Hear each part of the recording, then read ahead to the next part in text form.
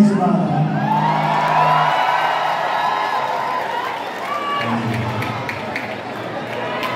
This is an oldie, but a good. Oh, did you know that the place we're in, this is Shrine Auditorium, is 97 years old. And in 1997, the Eraserheads were lucky enough to uh, win the MTV Viewer's Choice Awards. Uh, we were we were proud. We, we, we got U2, we got Madonna, we got Beck, we got many people as could. So, has nothing to do with this next song. This is called Tama Ka. My then girlfriend, now partner in life, wrote this. This is called Tama